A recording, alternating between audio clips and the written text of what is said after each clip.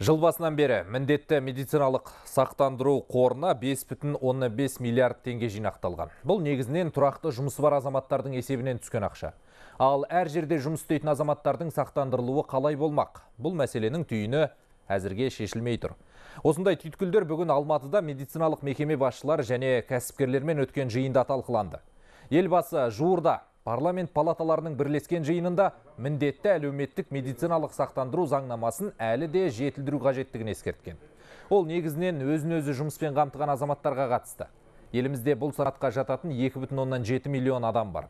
Олардың медициналық сақтандыруға деген сенімін нығайтып, жауапкершілігін арттыру әзірге оңай болмай тұр.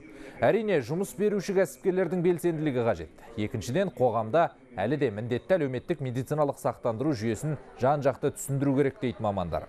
Ал кәмелетке толмаған балалар, мүмкіндігі шектеулі азаматтар мен қариялардың медициналық сақтандырылуын мемлекет өз мойнына алып отыр.